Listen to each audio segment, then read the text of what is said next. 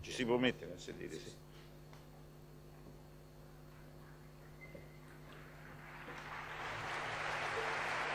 Oh, ma quanta gente c'è.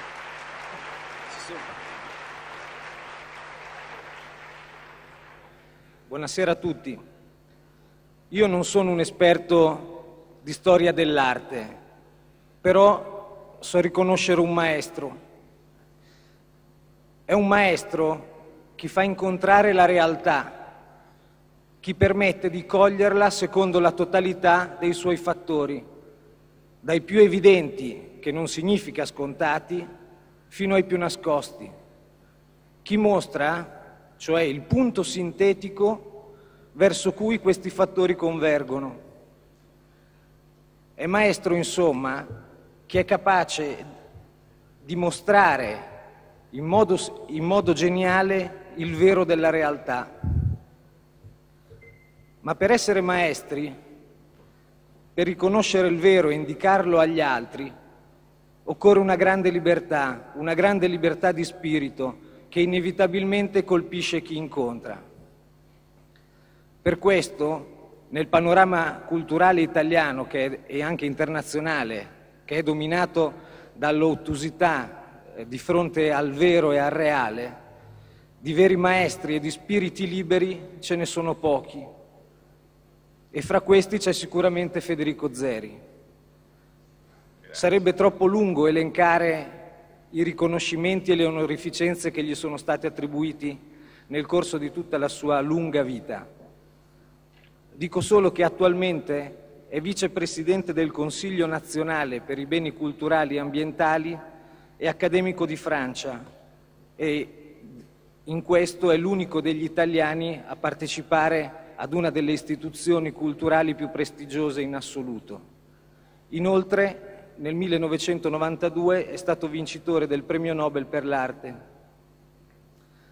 La sua grande libertà di spirito, oltre che documentata dalla sua variegata, impegnativa e anche imponente attività, è sicuramente testimoniata anche dal fatto che oggi è qui al meeting.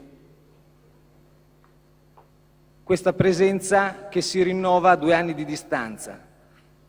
Nel 1995 ci diede la possibilità di ammirare la scoperta rivoluzionaria per la storia dell'arte universale del, dei tesori figurativi nascosti per secoli eh, nel sacello del Sancta Sanctorum a Roma, al Laterano.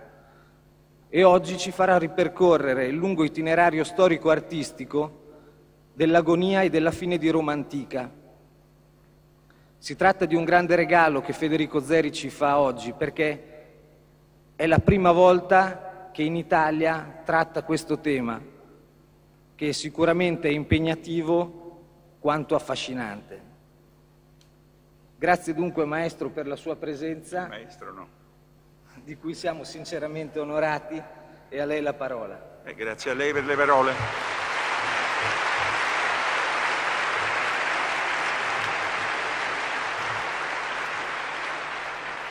Beh, la ringrazio e comincio subito eh, con una considerazione che la città di Roma è stata per il mondo antico qualche cosa di insuperabile, di insuperato. È stata veramente la capitale di quello che era considerato allora il mondo civile.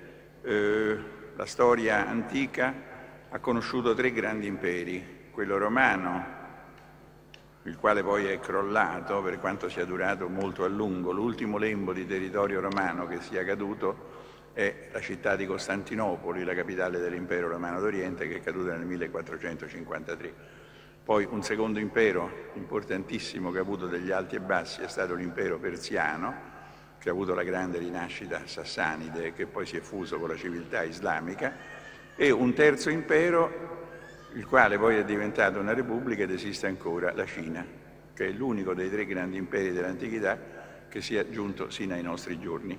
Ma quello che era lo splendore di Roma e la sua grandiosità è qualcosa di cui noi abbiamo una pallida idea. Roma non solo era una città gremita di tesori di storia e di arte, ma era anche una grande città per numero di abitanti. Generalmente si crede che le mura costruite alla fine del III secolo dall'imperatore Aureliano circondassero tutta la città. Questo non è esatto. Le mura di Aureliano hanno praticamente circondato solo quello che era un grandissimo centro monumentale, ma al di fuori delle mura la città abitata doveva continuare. Lo dimostra il fatto che per costruire le sue mura Aureliano e i suoi architetti hanno incorporato anche degli edifici piuttosto alti.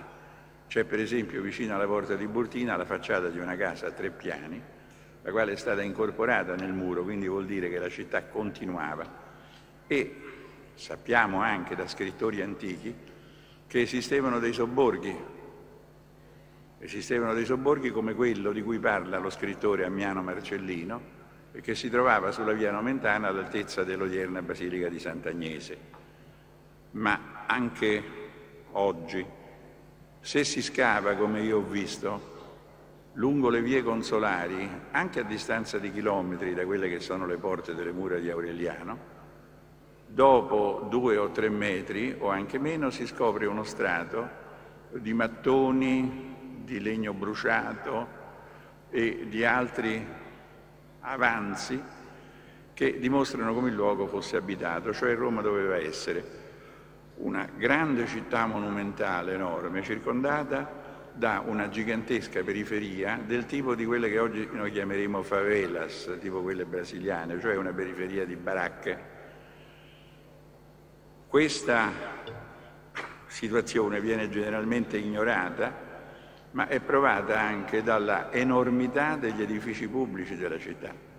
Quando si pensa alla capienza del Circo Massimo, del Colosseo e alla quantità degli edifici termali, di cui alcuni veramente colossali, come le grandi terme vicino all'odierna stazione Termini costruite da Diocleziano e da Massimiano, le terme di Traiano sull'Esquilino, quelle di Severo Alessandro nel Campo Marzio vicino al Pantheon, eh, ci si chiede, o quelle addirittura enormi, eh, finite dall'imperatore Caracalla, eh, dopo verso il Circo Massimo, ci si chiede ma chi poteva adoperare degli edifici termali così grandi? Doveva esserci una popolazione molto superiore a quella del milione e milione e mezzo che generalmente viene accettato. Doveva essere una città molto più grande, la quale poi aveva una periferia alimentata da tutti coloro che, come oggi accade al Messico o eh, al Cairo, abbandonavano le campagne.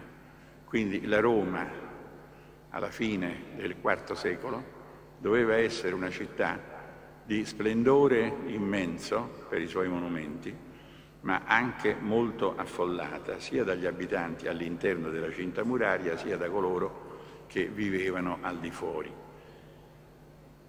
L'imperatore Aureliano, il quale dopo la grande crisi del III secolo ricostruisce l'impero su basi militari, aveva previsto, ahimè giustamente, che la città poteva diventare obiettivo delle incursioni dei barbari. Ai suoi tempi questo poteva sembrare un uh, pensiero da pessimisti, ma poi la realtà si è dimostrata superiore alle più nere previsioni e nel 410 la città, dopo un assedio, venne eh, occupata, venne invasa dai eh, visigoti di, del re Alarico. Guardando i film storici o leggendo certi libri si pensa subito che la città antica sia stata distrutta dai barbari, quale hanno dato fuoco agli edifici, eh, abbattuto colonne, eccetera, eccetera. Tutte cose che i barbari non hanno fatto per due ragioni. La prima è perché il primo invasore visigoto, Alarico, era di educazione già profondamente romanizzata quindi un rispetto verso la città ce l'aveva. Pare che durante la sua occupazione sia andata a fuoco nel foro romano la Basilica Emilia, ma non è sicuro. la basilica è stata bruciata ma non si sa bene quando.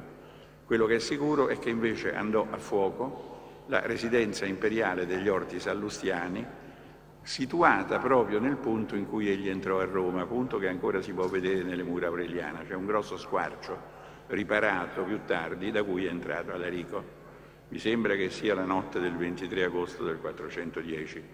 Comunque la cosa fece un'immensa impressione, ma non dimentichiamo che spinse Sant'Agostino a scrivere la città di Dio, ma non è che la città abbia molto sofferto.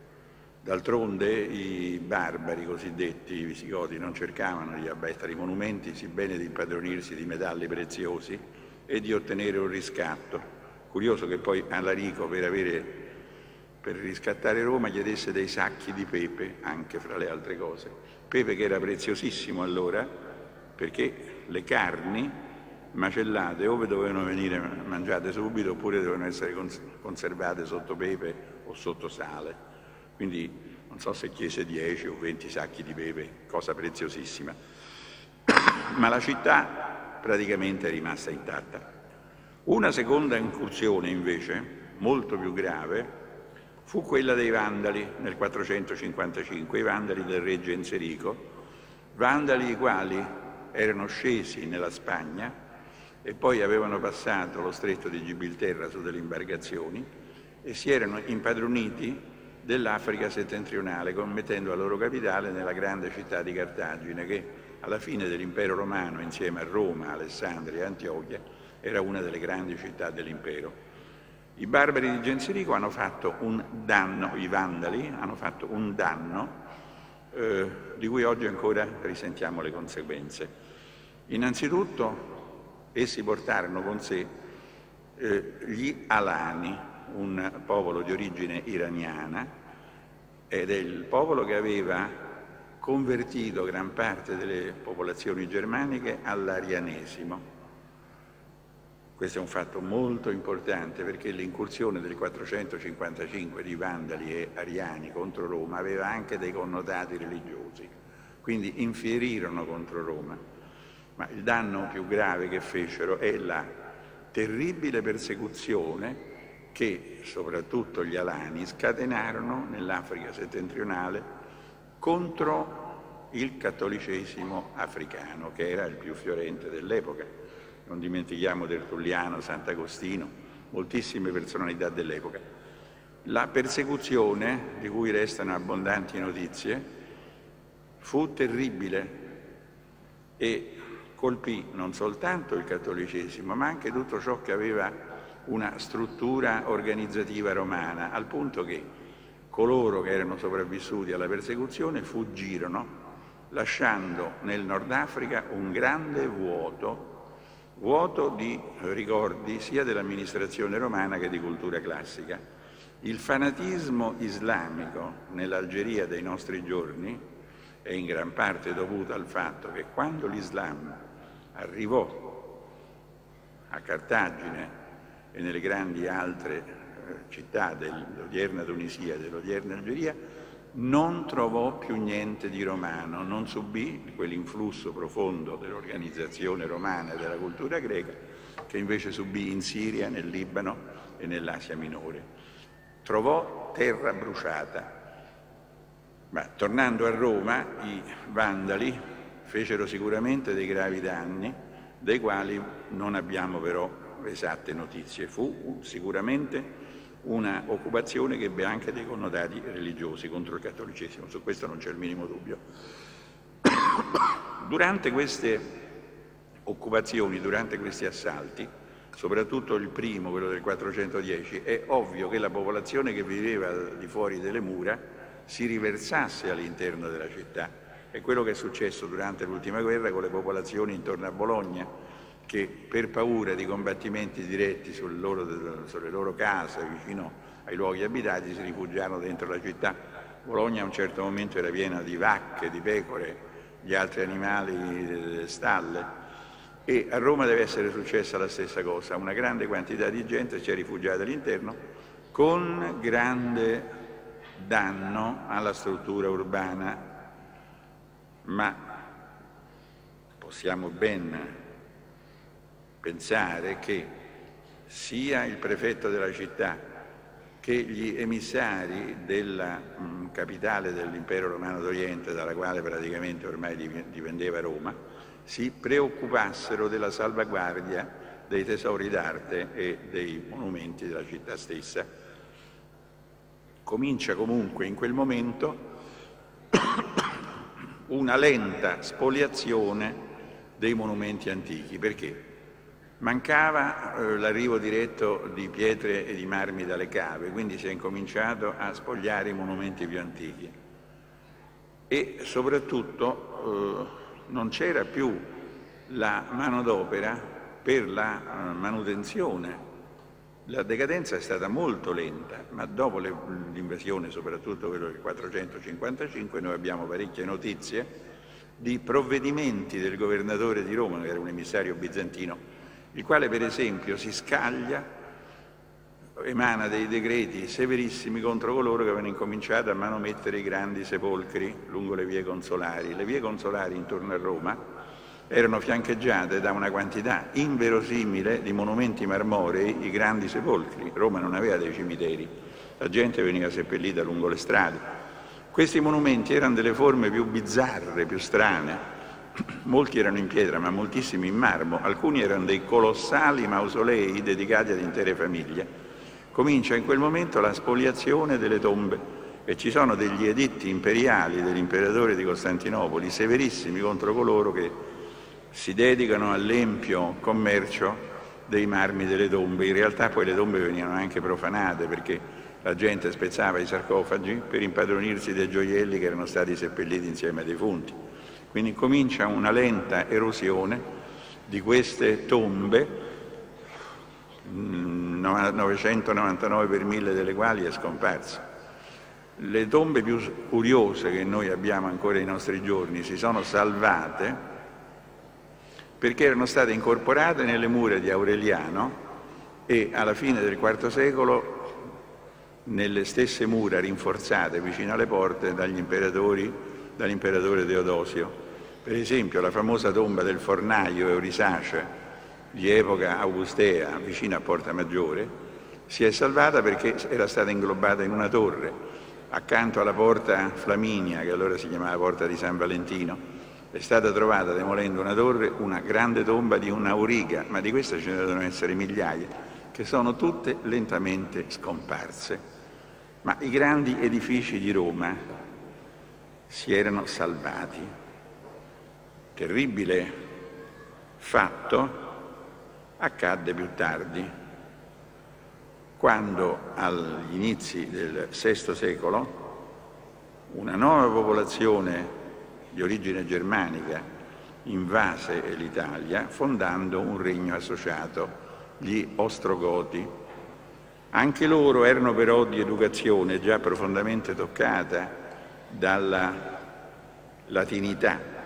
E noi sappiamo che sotto il re Teodorico, che è morto nel 526, furono restaurati parecchi monumenti di Roma, anzi abbiamo noi documentazioni evidenti, solida evidenza, che il palazzo imperiale del Paladino era addirittura abitato dal, dal re il quale costruì un piccolo ippodromo nello stadio di Domiziano, lo stesso stadio noto agli Acta Sanctorum perché è il luogo del martirio di San Sebastiano, che è un fatto storico, non è un fatto inventato.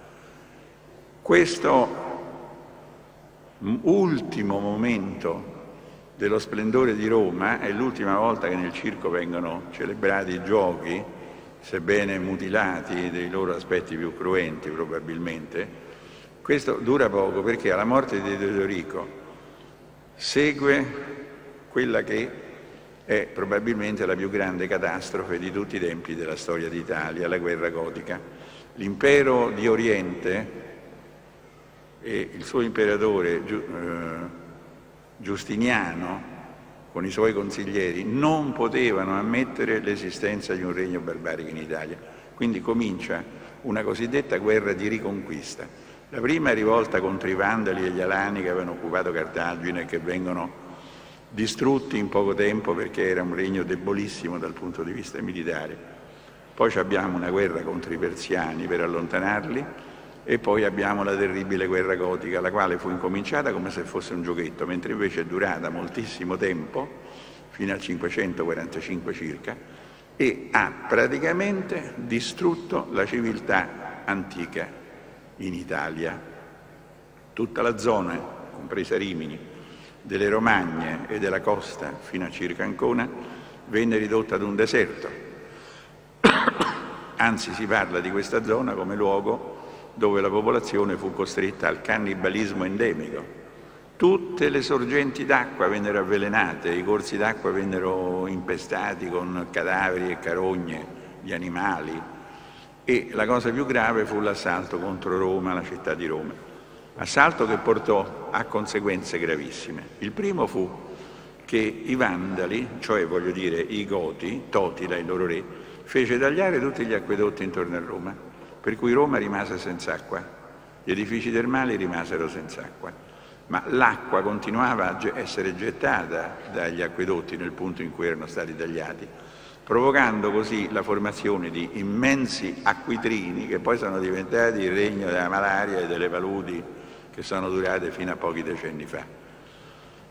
A un certo punto Totila decide di sferrare un attacco contro la città e ci riesce facendo una breccia nelle mura davanti al Policlinico Umberto I, nel viale del Policlinico, c'è ancora un tratto di mura riparato che è il punto da cui entrò Totila. Totila non è che anche lui, come nei film, bruciasse gli edifici, fece una cosa ben più grave, cacciò dalla città tutti gli abitanti quindi per un certo periodo di anni, che possono essere stati soltanto due o tre, la città immensa è rimasta senza manutenzione.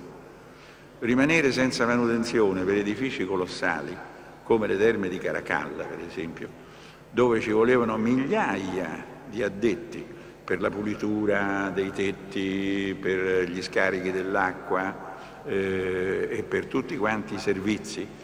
Non dimentichiamo che questi edifici termali, per esempio, erano molto complicati nel funzionamento. Pensate che durante l'inverno dalla via Salaria, dal Terminillo, giungevano a Roma carichi di neve, i quali venivano conservati nei sotterranei di ciascuna delle terme, perché la neve veniva poi sciolta nei giorni più caldi dell'estate nel frigidarium, nell'acqua del frigidarium, per renderla più fredda. C'era una specie di gigantesca organizzazione la quale eh, manteneva in piedi questi edifici. Pensate ad edifici come il Palazzo Imperiale del Palatino, un immenso complesso gigantesco, eh, carico, gremito di opere d'arte, soltanto per tenere in ordine i tetti, gli scarichi dell'acqua, ci doveva essere un esercito di addetti. Il Pantheon, tutto questo rimane senza manutenzione. Ora al ritorno, finita la guerra gotica, è successo un fatto molto curioso, che molti abitanti non sono voluti tornare nella città, né sono voluti tornare nelle zone dove abitavano prima degli eventi bellici. Perché? Perché l'impero d'Oriente, non tenendo conto delle gravissime situazioni in cui versavano le terre che erano state teatro dei combattimenti, ha imposto il suo sistema fiscale quindi tasse terribili gravavano sugli abitanti, rendendoli praticamente nulla tenenti. E poi c'era un altro fatto, che già si era avviato quel violento odio, quella violenta frattura fra Chiesa d'Occidente e Chiesa d'Oriente, fra Chiesa Cattolica e Chiesa Ortodossa. Giustiniano, grande costruttore è l'imperatore d'Oriente del quale restano più edifici, pensate, Santa Sofia a Istanbul, antica Costantinopoli, eh, la chiesa di Santi Sergio e Bacco nella stessa città, che era la chiesa fatta per sé e per sua moglie Teodora e che oggi è una moschea, chiesa stupefacente, la chiesa della Natività a Betlemme, ricostruzione giustinianea di un edificio più antico fatto da Costantino, la bellissima e intatta chiesa di Santa Caterina al Monte Sinai, che è uno degli edifici più conservati del mondo antico, la chiesa di San Giovanni ad Efeso, San Vitale a Ravenna, sono gli avanzi di un imperatore il quale veniva accusato dal suo storico Procopio di essere un maniaco del mattone, della decorazione musiva, eccetera. A Roma non ha costruito assolutamente niente. Quando il suo generale Belisario riprese la città, furono riparate le mura, ma non si sono minimamente preoccupati di fare qualche cosa per i monumenti della città che erano incominciati ad andare in rovina. Ora, il riuso dei materiali di monumenti più antichi è un fatto molto più antico di quello che non si creda. Già nel III secolo si ha il sospetto che alcuni monumenti di Roma venissero costruiti usando elementi di monumenti precedenti, ma non per ragioni di necessità, perché si voleva attribuire al nuovo monumento quella carica simbolica implicita in quello più antico. Per esempio, nel 313 venne costruito l'arco di Costantino, generalmente nei libri di testo voi leggete i rilievi dell'arco di Costantino sono stati sottratti a monumenti di Traiano, eh, di Adriano e di Marco Aurelio perché gli scultori dell'epoca di Costantino non sapevano più lavorare, questa è una balla. L'arco di Costantino è stato costruito con elementi tratti da monumenti più antichi perché Costantino, come si legge anche nei panegirici dedicati all'imperatore, era il nuovo Traiano, vittorioso come Traiano, quindi il nuovo Traiano, era saggio come Marco Aurelio, il nuovo Marco Aurelio, era amante delle arti come Adriano, infatti questi monumenti, questi rilievi tolti ai monumenti più antichi hanno la testa dell'imperatore originario sostituita con quella di Costantino e i romani dovevano riconoscere perfettamente da quali monumenti quei rilievi provenivano. Quindi il riuso è un fatto simbolico e nel III e nel IV secolo è molto comune D'altronde noi sappiamo pure che elementi dal Palazzo Imperiale del Palatino vennero portati nel Palazzo Imperiale di Costantinopoli, ad esempio la stanza dove nasceva l'erede all'impero, il cosiddetto porfirogenito, era completamente rivestita da lastre di porfido e la stanza che si trovava nel grande palazzo imperiale di Costantinopoli era quella stessa del Palatino che era stata smontata e portata a Costantinopoli per ragioni simboliche, in modo che chi nasceva in quella stanza aveva come precedenti figli degli imperatori del secondo e del terzo secolo che erano nati fra, stesse, fra le stesse lastre di porfido rosso, il materiale dedicato all'imperatore. Quindi il fatto del riuso era una cosa molto più antica, però adesso noi assistiamo a un eh, fenomeno del tutto diverso, cioè vediamo monumenti antichi i quali vengono spogliati di marmi unicamente per costruire delle chiese o per ornare le chiese, non vengono certamente saccheggiati per ragioni simboliche, cosa che sarebbe stata in completa contraddizione con l'uso ai quali adesso venivano destinati. Alcuni monumenti noi sappiamo che furono demoliti per ragioni di staticità, per esempio nel centro di Roma, nel luogo più importante della città, il Foro Romano, il grande Tempio della Concordia, che era stato costruito dall'imperatore Tiberio, venne demolito, come sappiamo da notizie, perché gravemente lesionato minacciava di crollare e con il crollo avrebbe danneggiato il sottostante arco di Settimio Severo e probabilmente anche la sede del Senato, la Curia. Altri monumenti sono stati spogliati lentamente delle loro decorazioni facendo giri incredibili. Noi abbiamo per esempio una lastra oggi in Campidoglio di un monumento probabilmente dedicato alla battaglia di Azio, quella che sconfisse Antonio e Cleopatra, monumento che si trovava nel portico di Ottavia. Ebbene, è stato ritrovato un lastrone nella Basilica di San Lorenzo fuori le mura Oh, tutto questo avveniva anche perché nessuno capiva più il significato dei monumenti antichi. La fine del mondo antico è contrassegnata dalla fine dell'alfabetizzazione. Si calcola che l'alfabetizzazione raggiunta nell'impero romano agli inizi del VI secolo, alla fine del V secolo, sia stata raggiunta poi dall'Europa soltanto nel secolo scorso. Nessuno sapeva più leggere le epigrafi, nessuno o pochissimi sapevano il significato della quantità enorme di iscrizioni che vedevano intorno a sé. D'altronde l'impero, e soprattutto Roma, aveva subito una sorta di distruzione delle proprie radici culturali con il cambiamento della religione. Quindi questi templi dedicati a divinità di un'altra religione non venivano più compresi nel loro significato, erano abbandonati se non anche devastati o profanati. Quindi la città decade lentamente sia per mancanza di manutenzione, sia per mancanza di interesse,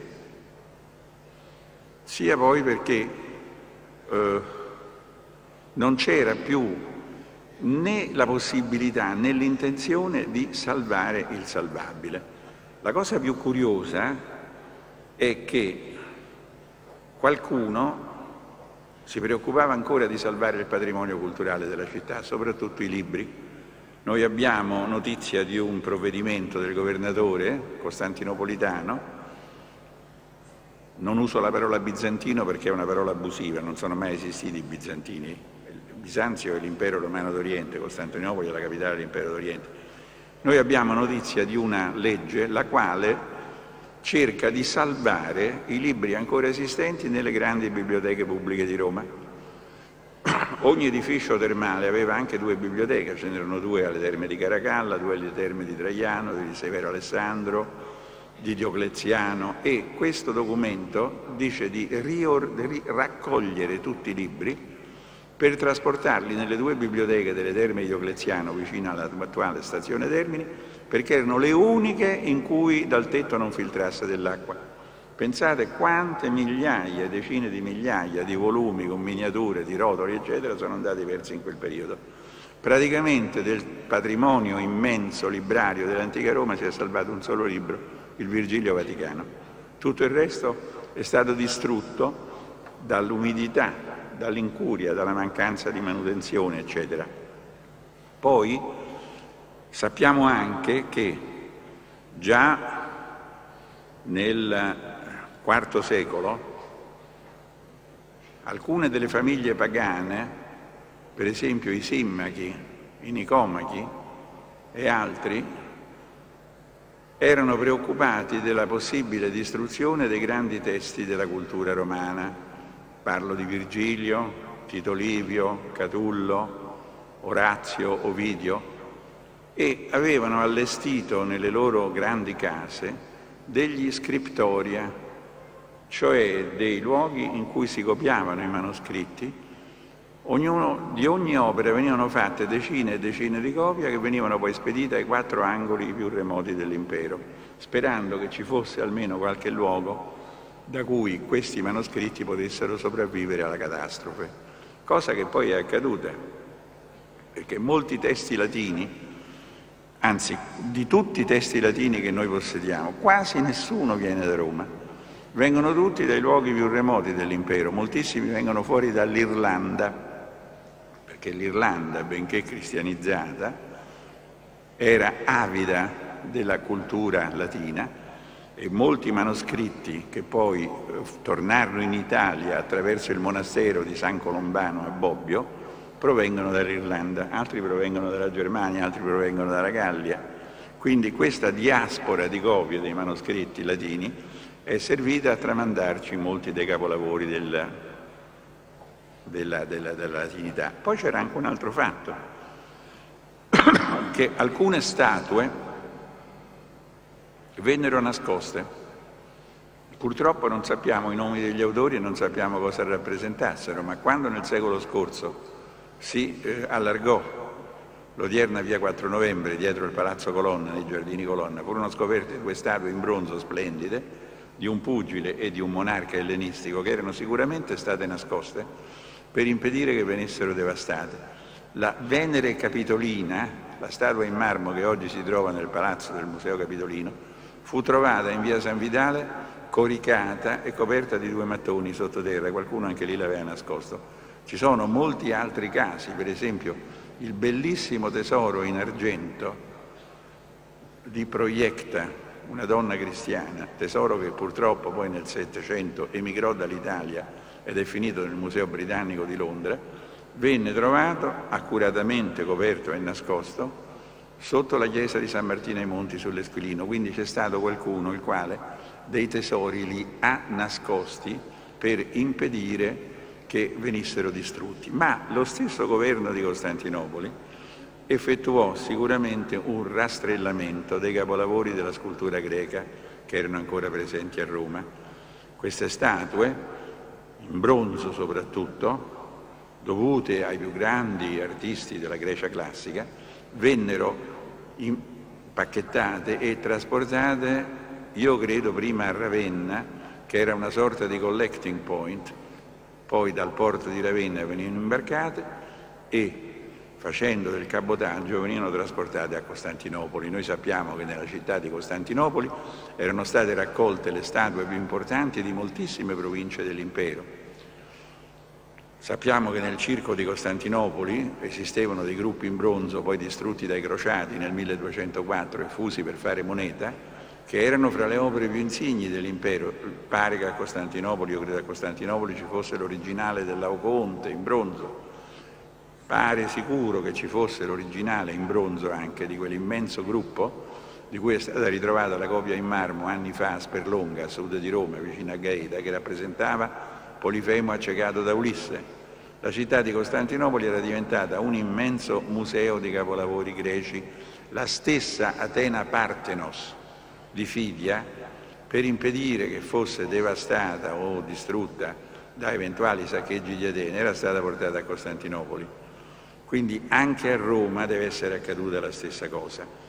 E io credo certo, da notizie che ho assunto da varie fonti, che una nave carica di questi capolavori esiste ancora affondata a largo della città di Fano ed è la nave dalla quale proviene quel meraviglioso bronzo che poi è stato fatto uscire dall'Italia in modo surrettizio e che oggi si trova in un museo della California, il cosiddetto Bronzo Ghetti deve essere uno di questi grandi capolavori della scultura greca portati via da Roma e poi andati a fondo. E lì probabilmente c'è una nave intera perché c'è un luogo dove i pescatori non vogliono andare perché dicono che il diavolo gli rompe le reti. Sono tutte le statue affondate nelle quali si impegnano le reti che poi vengono strappate. Quindi ci deve essere, credo, anche, ma lasciamo stare che due altri pezzi famosissimi come i bronzi di Riace provengano da lì. Comunque la città di Roma venne spogliata prima dei suoi capolavori, probabilmente anche i quadri, perché Roma era piena di capolavori di pittura greca. E poi si passò anche a togliere dagli edifici le tegole di bronzo dorato. Noi sappiamo che vennero tolte le tegole dal Tempio di Venere a Roma, vicino al Colosseo. Sappiamo che venne tolta la copertura di bronzo dorato dal Pantheon. Tutti edifici eh, splendidi, eh, meravigliosi eh, dai quali venne tolta questa eh, decorazione che faceva molta gola. La città intanto andava sempre più impoverendosi, sempre più immiserendosi e gli edifici, mancando la manutenzione, cominciarono a crollare. Cominciarono a crollare alcuni, altri vennero trasformati. Ad esempio, il Colosseo diventò un enorme condominio un enorme condominio di moltissime famiglie. Nelle arcate del pian terreno c'erano le scuderie, però negli altri piani era stato lottizzato ed era una cosa molto utile perché il Colosseo diventava così una sorta di villaggio fortezza molto, molto facile a difendersi. L'acqua veniva presa probabilmente o dai condotti sotterranei del Colosseo o dalla vicina fontana, qualche acquedotto era stato riparato, la Meta Sudans. Altri edifici cominciarono a venire giù. L'edificio più spettacoloso della Roma imperiale, quello di fronte al quale i visitatori rimanevano stupefatti, e cioè il Foro Traiano, deve essere incominciato a crollare. Non bisogna dimenticare che verso il VII secolo, VI, VII, i maggiori edifici di Roma dovevano sembrare delle foreste dovevano sembrare delle foreste perché erano coperti di un'immensa quantità di alberi, di olmi, di fichi, le cui radici contribuivano a sgretolare le ossature. foro Traiano deve incominciare a crollare in quest'epoca, devono essere crollate le travature della navata centrale della Basilica Ulpia e la Basilica diventa un luogo di baracche, c'è un punto di scavi che non è mm, generalmente visibile, in cui si vedono gli avanzi della Basilica e gli avanzi di miserabili catapecchie con i focolari, eccetera, e il pavimento di marmi preziosissimi è addirittura sfondato per scavare le tombe degli abitanti, così come intorno al Colosseo gli abitanti avevano fatto un loro cimitero. Altri monumenti vennero distrutti scientificamente.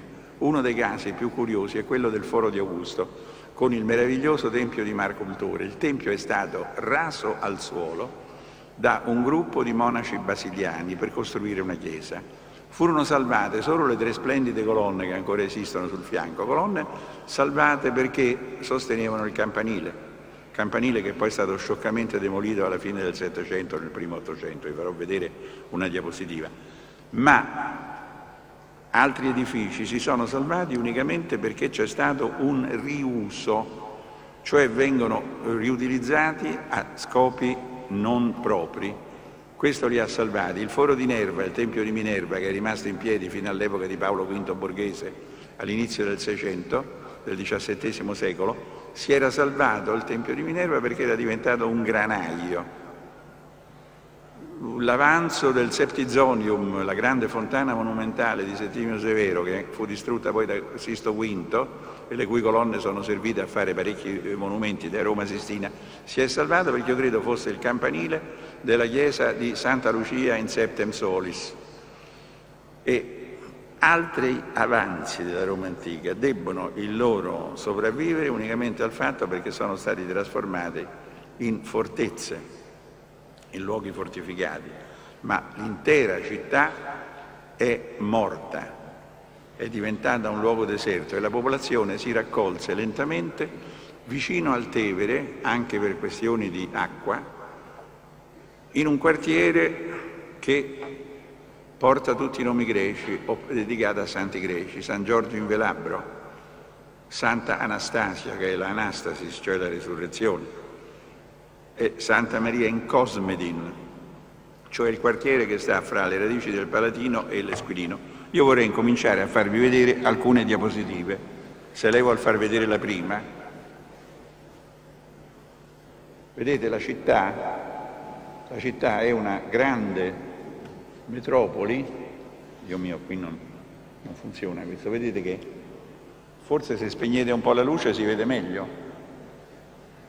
Vedete una grande metropoli con monumenti eh, grandiosi, vedete a sinistra la cupola del Pantheon, qui in primo piano la, eh, il circo di Domiziano, eh, là dietro il Tevere, il grande teatro di Pompeo, tutti monumenti di cui solo il Pantheon è rimasto.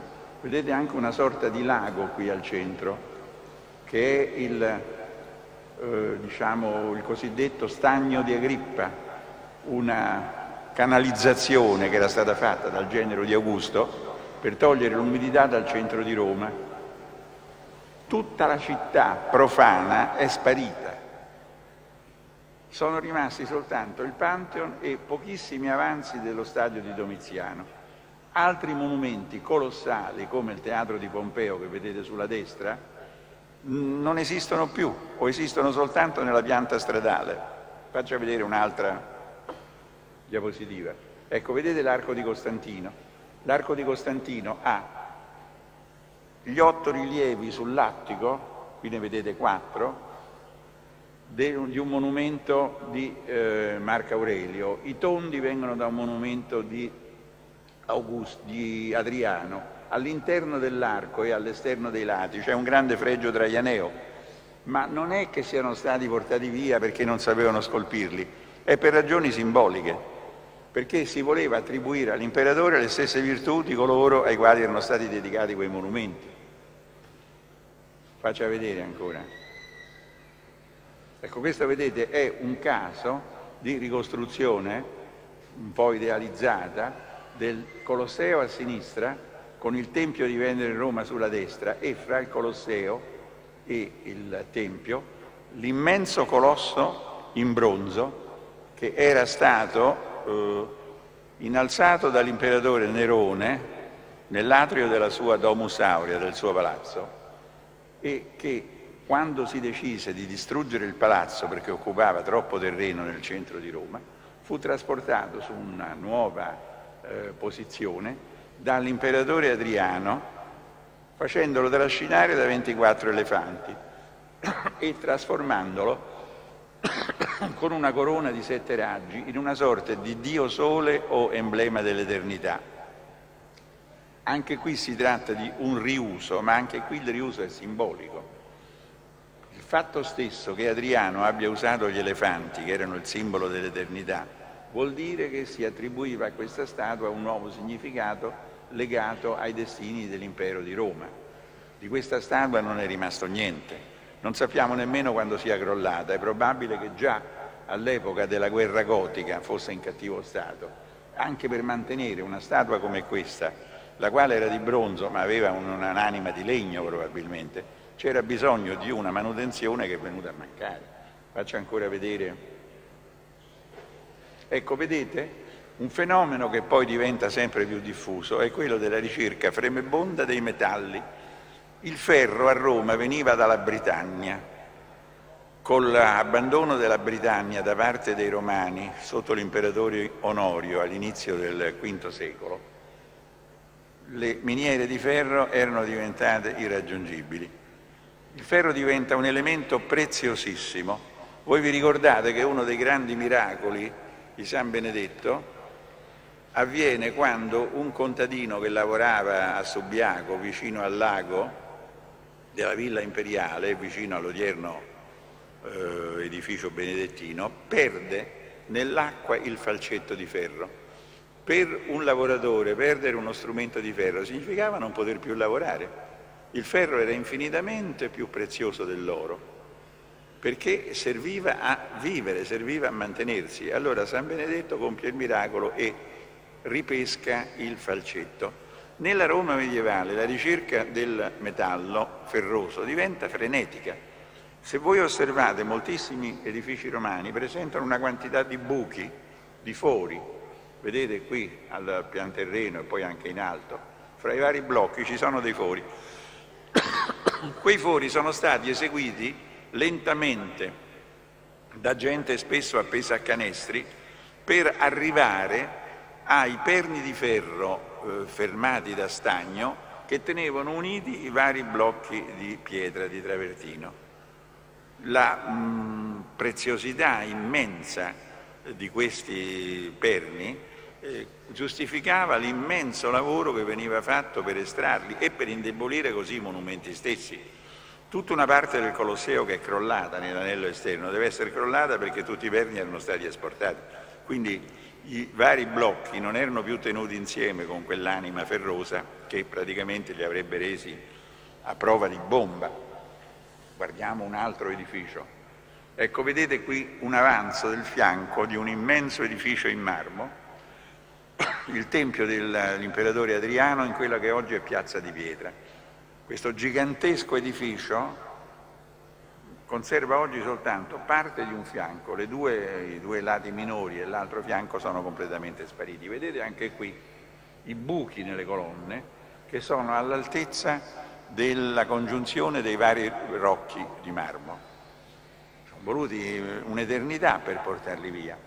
Guardiamo un po', vedete che già, ecco, quello, no, ecco, questo è, no, no, no, no, no, mm, ecco, Vedete, questo è lo stesso edificio come già si presentava nel Cinquecento, praticamente è come lo vediamo oggi. E si è salvato per un riuso, non sappiamo quale, perché all'interno delle colonne era stato costruito un edificio che serviva a qualche cosa. Questo dobbiamo la sopravvivenza di queste colonne al fatto del riuso. Guardi un po'. Ecco, vedete qui Tre colonne del Tempio di Marte sono state salvate dai monaci basiliani per costruirci sopra il campanile. Questo è un disegno del primo Seicento che mostra le tre colonne con il campaniletto sopra. Campanile che oggi purtroppo non esiste più. Intanto poi il terreno della città aveva incominciato ad alzarsi. Pensate che in certe zone di Roma, come per esempio la via urbana, la città antica è 14 metri sotto il livello attuale, perché dalle colline dal Quirinale, dall'Esquilino, dal Celio, è venuta giù con le piogge un'enorme quantità di detriti che ha riempito le valli. Io sono convinto che se scavano sotto via urbana trovano degli avanzi importantissimi e intatti, probabilmente, gli edifici preziosissimi, case private, piccoli templi, completamente sepolti da questi detriti, saccheggiati e poi lasciati andare. Faccio ancora vedere. Vedete questo immenso eh, prospetto monumentale, eh, era chiamato il Septizodium. Non si sa bene da che cosa derivi il nome, ma era stato costruito dall'imperatore Settimio Severo alla fine della Via Appia e legato alla curva del Circo Massimo che voi vedete qui a sinistra. È probabile che il Septizodium avesse a che fare, dato che c'era il numero 7, sept, con i giochi del circo, ma non sappiamo bene la sua funzione. Questo immenso edificio già nell'VIII secolo era in parte crollato e lo sappiamo con esattezza perché un pellegrino che nell'VIII secolo ha girato per Roma ha trascritto molte iscrizioni in un codice che è stato poi ritrovato a Einsiedel in Svizzera ed è chiamato l'anonimo Einsidelense Nell'iscrizione relativa al Septizodium noi sappiamo che il monumento era stato costruito da Settimio Severo, però la parte centrale dell'iscrizione manca, il che vuol dire che era già crollata. Si pensa che nell'edificio ci fossero delle fontane monumentali nelle tre nicchie e recentemente sono stati scoperti gli avanzi di un immenso bacino in porfido che probabilmente è uno dei bacini delle tre fontane e che le tubature di queste fontane avessero già pregiudicato la consistenza del monumento. Faccia vedere un altro. Quello che è importante è che di questo colossale insieme era rimasto nel Rinascimento soltanto la parte che vedete a sinistra. Perché si era salvato? Perché da altri disegni, faccia un po' vedere quello che viene dopo, si direbbe che esso fosse, vedete una finestrella bifora, di, eh, questo è un disegno di Martin van Heemskerk, un olandese che era venuto a Roma nel primo Cinquecento, si direbbe che questo avanzo fosse diventato il campanile di una chiesa. Io penso alla chiesa di Santa Lucia in Septem Solis, Septem Solis, Septizodium, che era una diaconia, cioè una di quelle chiese di Roma nelle quali veniva distribuito il cibo ai poveri. Il miserabile avanzo del Septizonium era pericolante, Sisto V lo fece demolire le colonne esistono tutte ancora, sappiamo esattamente quali sono.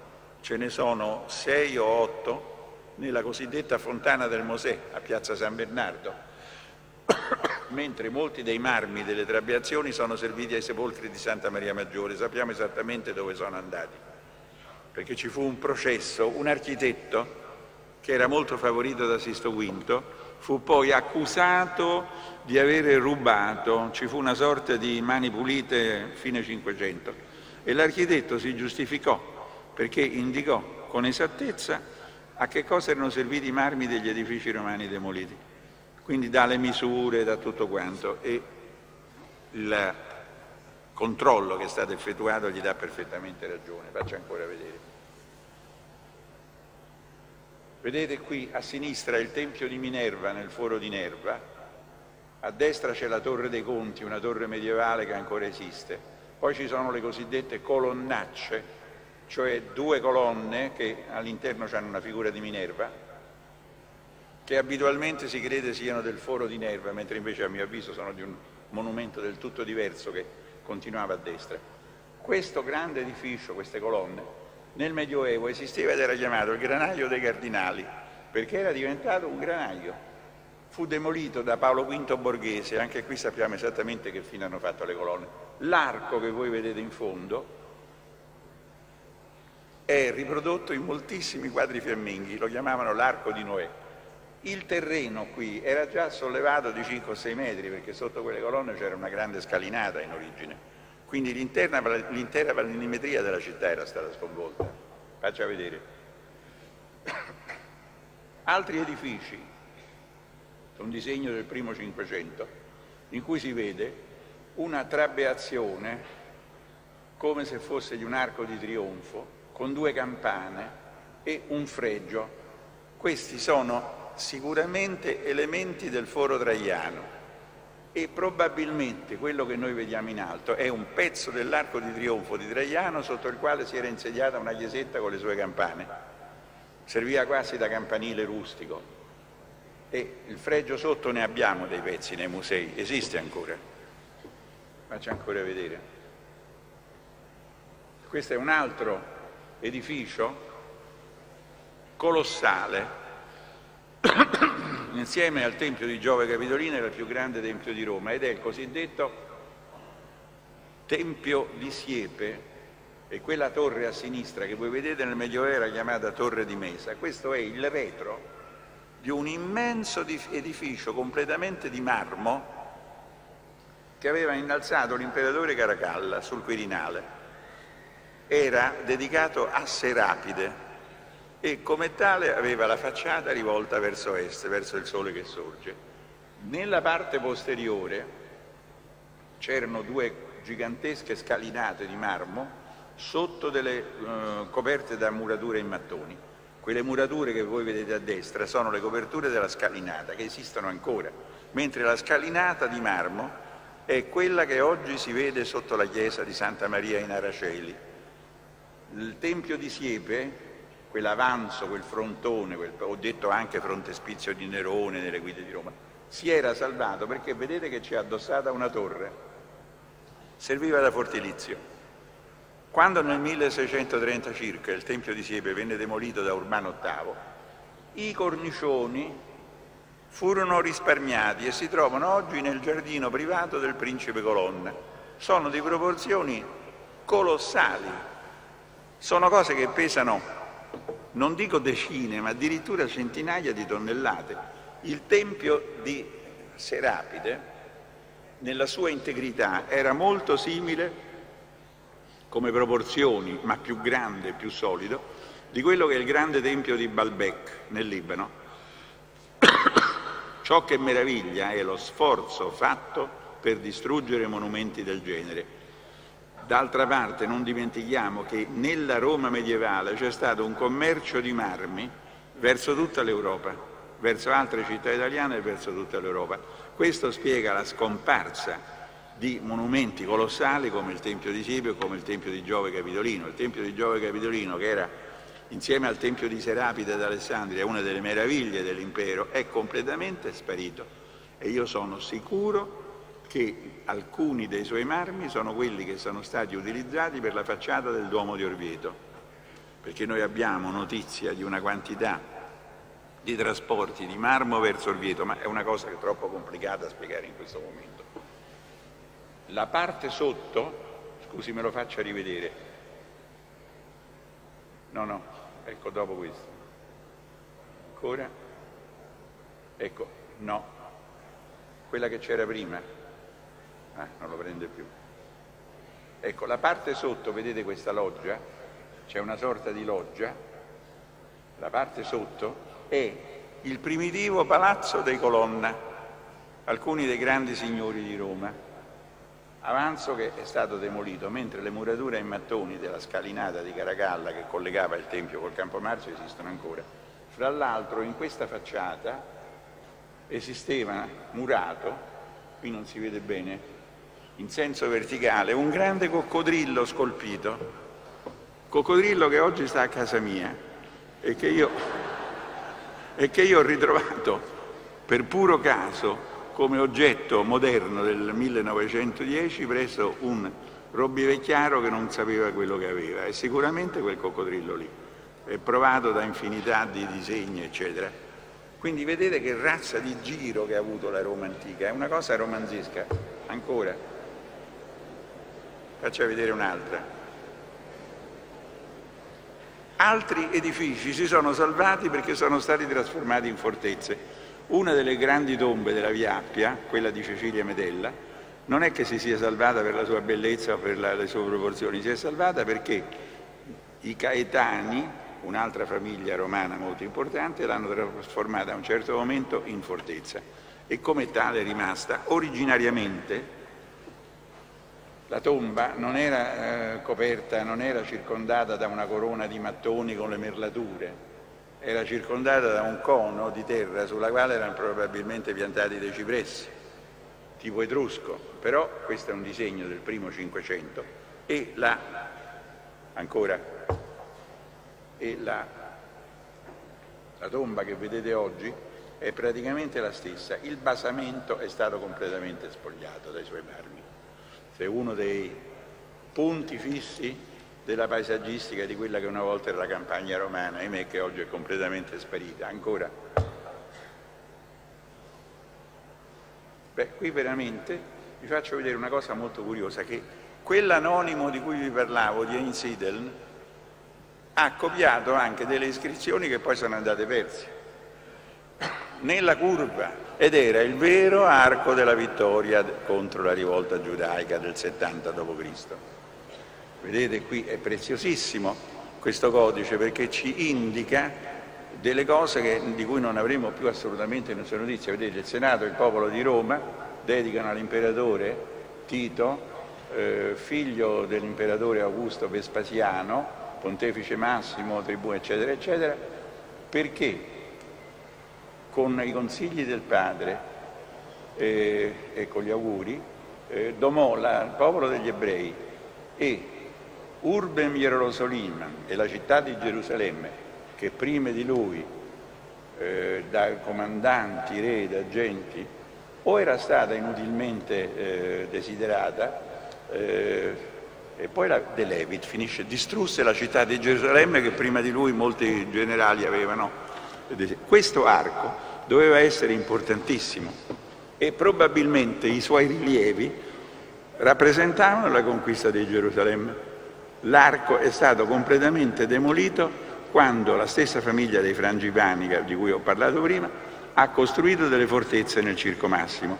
Io sono convinto che se scavano qualche cosa la trovano. Mi sembra impossibile che la colonia ebraica di Roma abbia consentito la distruzione dei rilievi che ci dovevano essere in questo, in questo edificio. Posso vedere ancora? Una statua che si è salvata è quella del Marco Aurelio nella piazza del Campidoglio e si è salvata in modo molto fortunoso.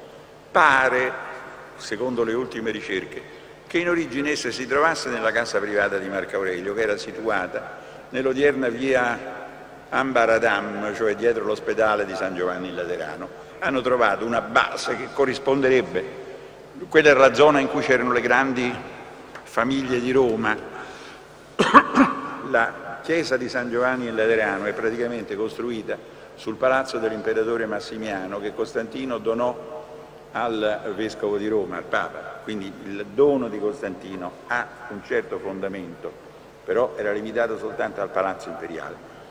Questa statua si salvò perché nel Medioevo veniva considerata statua di Costantino e a un certo momento, tolta dalla sua sede originaria, venne posta davanti all'ingresso del patriarchio lateranense. Durante il Medioevo i papi non vivevano in, nel Vaticano, vivevano nel Laterano e accanto alla chiesa di San Giovanni, che è la cattedrale di Roma, c'era questo immenso complesso di sale, saloni, triclini, un vero e proprio palazzo imperiale che fu scioccamente demolito da Sisto V alla fine del Cinquecento e di cui resta soltanto il Sancta Sanctorum.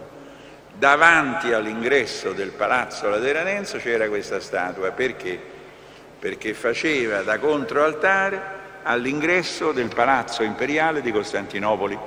Per accedere al palazzo imperiale di Costantinopoli, dunque, abbiamo la chiesa di Santa Sofia, fra Santa Sofia e l'ingresso del palazzo c'era una grande piazza, l'Augusteum. Al centro dell'Augusteum c'era una statua equestre di Giustiniano, che era probabilmente una statua di Teodosio trasformata in Giustiniano, esattamente davanti alla porta. Così come nella Chiesa ortodossa avevano Giustiniano davanti all'ingresso del Palazzo Imperiale, così nella Chiesa Cattolica davanti alla sede pontificia c'era la statua di Costantino. Questa è la ragione per cui si è salvato. Delle altre innumerevoli statue equestre di Roma, noi sappiamo il numero, non mi ricordo impressionante, c'erano 36 archi di trionfo, ognuno dei quali aveva in cima una quadriga di bronzo con l'imperatore, le vittorie, cioè tutto perduto, e centinaia e centinaia di statue di bronzo, tutto è perso fuorché questa statua di Marco Aurelio trasformato dalla leggenda in Costantino. Faccio ancora vedere. Come vedete questo è il pugilatore bellissimo oggi al Museo Nazionale Romano che è stato ritrovato nascosto sotto il Palazzo Colonna. Chi è l'autore deve essere un grande scultore. Chi l'ha nascosto e come facciamo a saperlo? È stato qualcuno che ha tentato di salvare un capolavoro. Faccio ancora vedere. Un altro incredibile ritrovamento avvenne alla fine del secolo scorso nell'Esquilino, in una sede sicuramente degli imperatori, in un palazzo, una villa imperiale, fu trovato un salone murato. Qualcuno l'aveva murato per impedire che persone malintenzionate vi accedessero. E in fondo al salone c'era questa spettacolosa statua di Commodo, già in parte rovinata, era stata distrutta una delle Amazzoni in basso, ma di bellezza incredibile, sembra una porcellana, insieme a due statue di Tritoni. E in questo stesso ambiente venne ritrovato, ma caduto, qualche cosa è stata ricostruito, il rivestimento delle pareti originarie della sala, il rivestimento che era niente di meno che di oro e di pietre preziose, smeraldi, rubini, eccetera. In un primo tempo si credette che fossero pezzi di un mobile, poi si è visto che erano il rivestimento di una sala del Palazzo Imperiale. Un altro ritrovamento analogo fu fatto nel Settecento sul Palatino quando si scoperse una sala la quale aveva le pareti di pietre semipreziose filettate d'argento, quindi queste devono essere sede di uno sfarzo quasi incredibile. Faccia vedere. Altra cosa che deve essersi salvata miracolosamente, ma perché qualcuno ha provveduto, è questa immensa statua che si trova nel cortile del Museo Capitolino e che si chiama Marforio. Io sono certo che questa è la statua dell'oceano che in origine si trovava in una fontana fatta dall'imperatore Severo Alessandro, fontana che era nell'odierna piazza Vittorio Emanuele. Noi abbiamo delle monete in cui vediamo che al centro della fontana c'è una colossale figura di una divinità marina o fluviale sdraiata. Qualcuno ha tentato di salvare qualche cosa e altri rilievi che si sono salvati sono quelli del Marco Aurelio, di Marco Aurelio nel Palazzo dei Conservatori, ce ne sono tre e fanno parte della stessa serie, dello stesso monumento di cui otto erano stati messi sull'arco di Costantino. Quindi qualcuno ancora capiva l'importanza di queste cose e ha tentato di salvarle e a lui dobbiamo, a questo sconosciuto dobbiamo se ancora possediamo questi capolavori. Faccio vedere. ecco un altro dei rilievi di Marco Aurelio. Mano a mano però le, le, le, la città era abbandonata, tutto stava crollando, alcune zone erano completamente deserte e abbiamo un fenomeno molto curioso. Molto spesso noi troviamo che le parti superiori, questo vedete, il tempio di Venere Genitrice del foro di, eh, di Cesare, è stato ricostruito negli anni 30. Vedete che le parti antiche in marmo sono quelle superiori, le parti inferiori sono sparite. Perché? Perché nel crollo dell'edificio le parti superiori che sono cadute per prima si sono subito ricoperte di terra e sono salvate. Ciò che emergeva dalla terra poi è stato fatto a pezzi perché incomincia il fenomeno terribile delle calcare, cioè i monumenti, le statue, le iscrizioni, eccetera, vengono fatte a pezzi e bruciate nei forni per trarne della calce. Ci sono moltissimi luoghi della Roma medievale che vengono chiamati calcararium o la chiesa Santa Maria in Calcara, vuol dire che nei dintorni si bruciavano statue antiche per trarne della calce, per fare dei nuovi... E questo fenomeno assume proporzioni enormi quando Roma è abbandonata durante l'esilio avignonese alle fazioni dei baroni. Tutti si costruiscono delle fortezze e alcuni monumenti vengono proprio rasi al suolo, le terme di Traiano, eccetera. Ancora? Ah no, questa è storta, ma non fa niente, vi faccio vedere quella dopo. Basilica Ulpia, perché si sono salvate le colonne mentre mancano i capitelli? Perché le colonne sono di granito che non brucia. capitelli e basi che erano di marmo bianco sono sparite nei forni dei calcarari, come sono spariti le, lastro, le lastre dei pavimenti e i portici delle navate secondarie che erano di marmo tenero. Le calcare sono durate per secoli. Lo stesso Raffaello, nella lettera a Leone X, parla di questo vizio orribile di distruggere monumenti, marmi scolpiti per fare della calce e prega il Papa di salvare il salvabile. Mio Dio. Quindi noi abbiamo di questi monumenti, faccia un po' vedere se ce n'è ancora un'altra. Eh, questa vedete un avanzo del foro Traiano, sono state asportate persino le lastre del pavimento.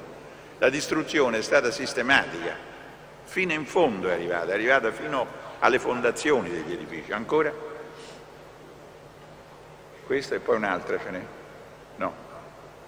E così diventa poi la Roma, vedete la Roma vista dal Campidoglio, agli inizi del Cinquecento. Poche case, luoghi deserti, il Colosseo in fondo a destra, pochissimi avanzi romani che emergono, quasi niente. Emerge soltanto una città piccola, la quale da un, io penso, sui 2 milioni, 2 milioni e mezzo di abitanti era scesa nel Medioevo a 18 mila abitanti.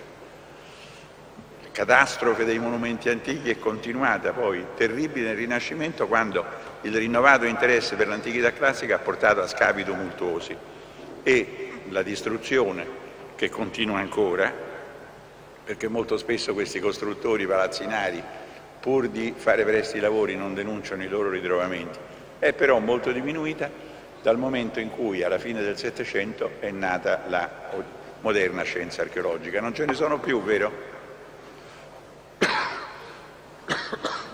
I monumenti che vedevano nel Seicento sono ancora quelli che ci sono oggi, la Basilica di Massenzio. Qui c'è ancora a sinistra la colonna che poi Paolo V Borghese fece innalzare davanti a Santa Maria Maggiore. Vedete che c'è una grande colonna fra i primi due archi. Ancora, poi le terme di Diocleziano, le terme di Diocleziano con a sinistra quella che oggi è la chiesa di San Bernardo, sono praticamente quelle che vediamo oggi. L'arco, qui la grande abside, è stata demolita una novantina di anni fa per fare l'ingresso all'odierna via nazionale. Ancora?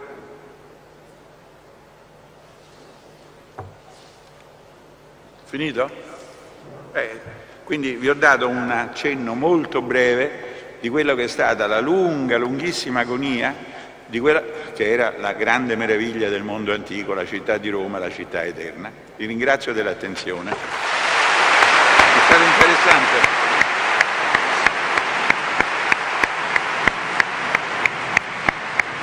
Cos'è questo rumore orribile?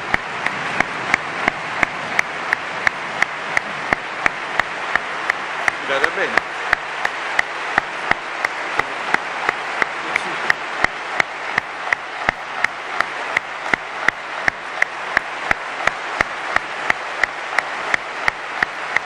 Ma sarà piaciuta? E cosa dici?